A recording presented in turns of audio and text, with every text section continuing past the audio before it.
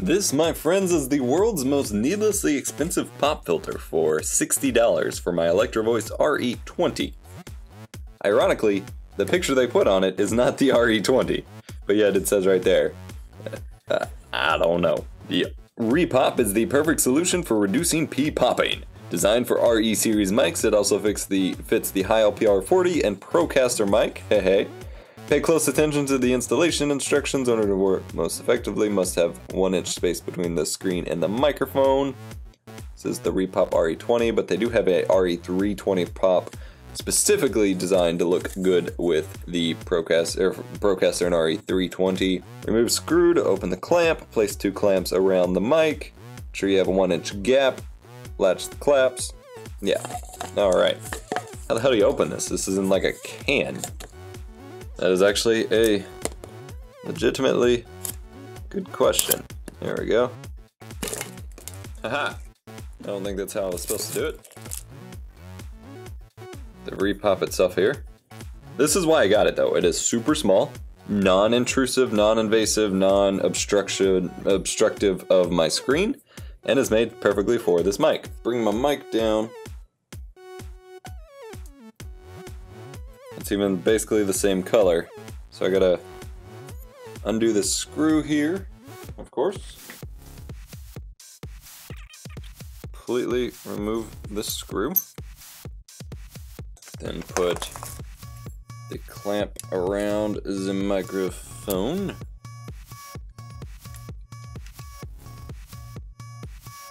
It says one inch of space, which basically just means I pull it to the end of this bracket here then you clamp it back on. And I'm actually to put clamp over on the bottom. So let me flip it here. It's just a super rough cut. I just want to take a quick look at this. And then screw it back in, I believe. Yes. I'm not, oh, I was like, I'm not sure how that's supposed to reach, but it has a lot of give.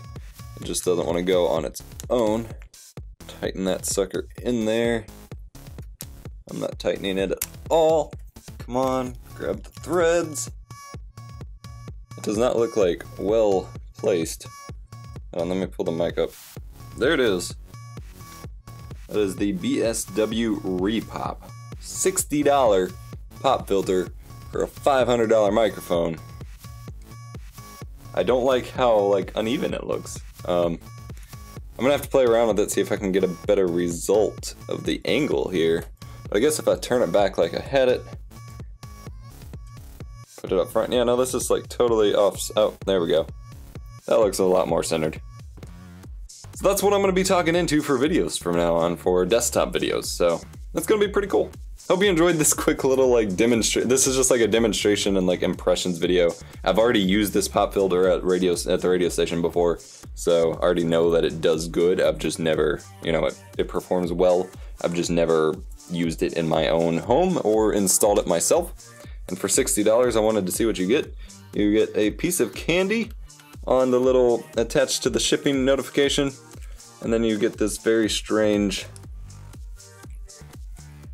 assembly process of the pop filter. And I was able to tighten that all the way back. So that works. Okay. So that is the pop filter. Hope you enjoyed. If you like this, smash the like button. See you back in a more formal, normal video.